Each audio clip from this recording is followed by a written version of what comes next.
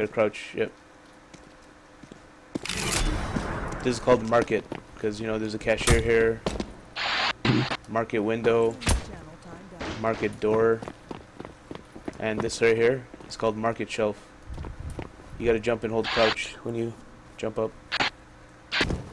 Hold crouch and jump. No, jump in the air first. Jump in there first and then hold crouch and hold forward. You gotta learn this jump because it's important. Like, there's other places you jump like this. So, when you jump up, what up, Gaming All?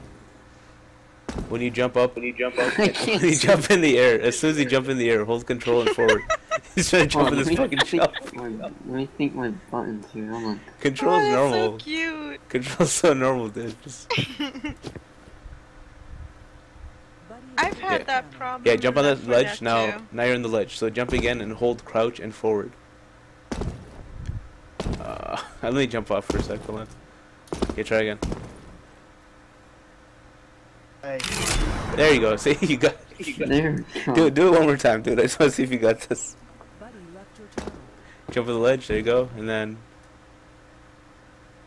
This is a struggle for you. There you go. Fuck's sake. I have to take my hand off of the mouse though. What, what's your crouch button? It's control.